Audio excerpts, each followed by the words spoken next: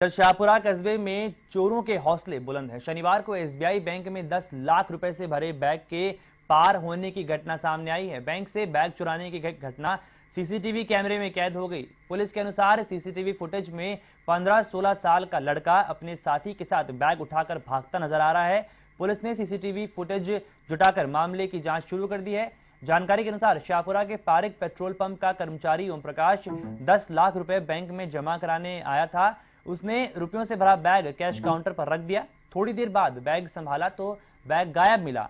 इस पर उसके होश उड़ गए। पीड़ित ने घटना की सूचना बैंक कर्मियों को दी।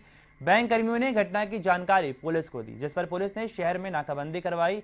वारदात की सूचना पर कोटपुतली डीएसपी सांवरमल नागोरा शाहपुरा थाने के कार्यवाहक इंचार्ज सुभाष यादव मनोहरपुर थाना प्रभारी नरेंद्र भड़ाना अमरसर थाना प्रभारी कैलाश मीणा मय जाप्ते के मौके पर पहुँचे। अधिकारियों ने घटना की जानकारी लेकर सीसीटीवी फुटेज खंगाले हैं। पुलिस ने फुटेज के आधार पर संदिग्धों की तलाश शुरू कर दी है।